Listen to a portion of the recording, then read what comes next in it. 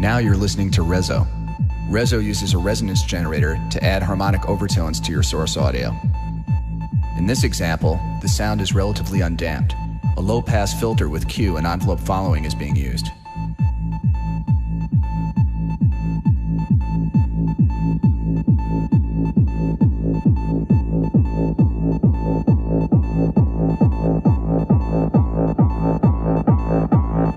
Reso's resonance generator can switch between all or odd harmonics.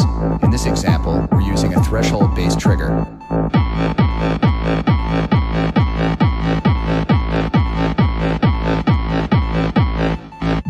Now you're listening to Reso. Reso uses a resonance generator to add harmonic overtones to your source audio.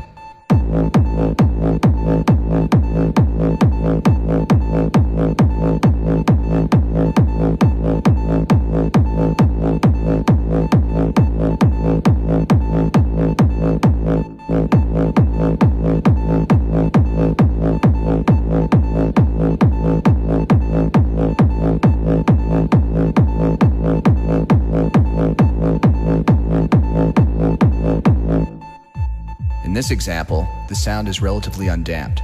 A low pass filter with Q and envelope following is being used. Reso's resonance generator can switch between all or odd harmonics.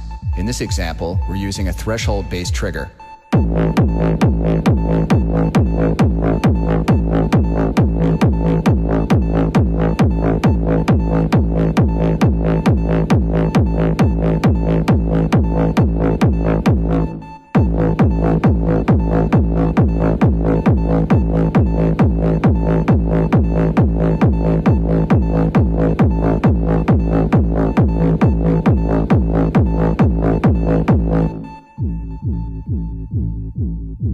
Here I'm using some pitch bend along with some discrete changes in filter cutoff frequency to simulate sample and hold. Well, that gives you an idea of what Bruno and Reso can do. We've repeated all the audio after this point so that you can watch the plugins go through their paces without having to hear the voiceover. If you want to freely play with the settings, bring up the Automation Enables window and suspend automation.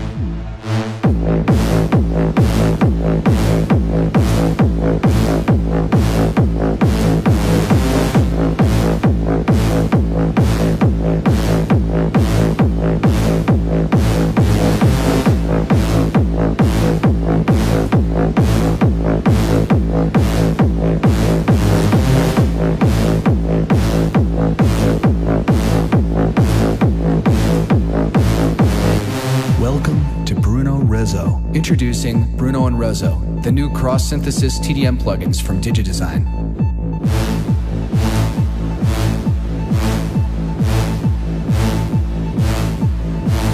Cross synthesis is an exciting new technique that allows you to use your live or on disc audio sources to synthesize entirely new sounds.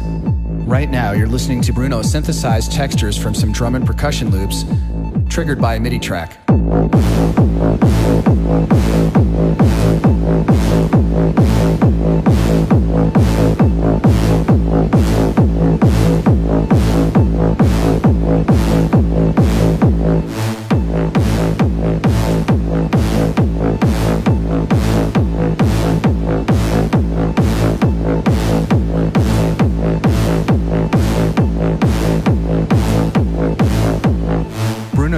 Time slicing, a technique where timbres are extracted from the source audio during playback and crossfaded together.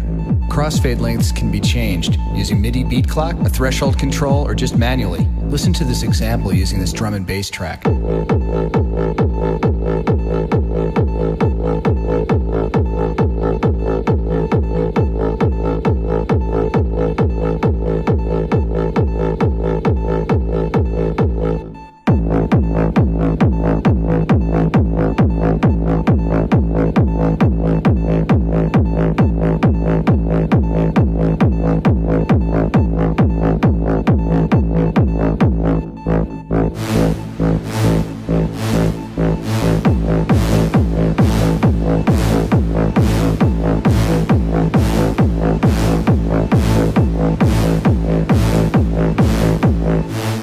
This example, the sound is relatively undamped. A low pass filter with Q and envelope following is being used.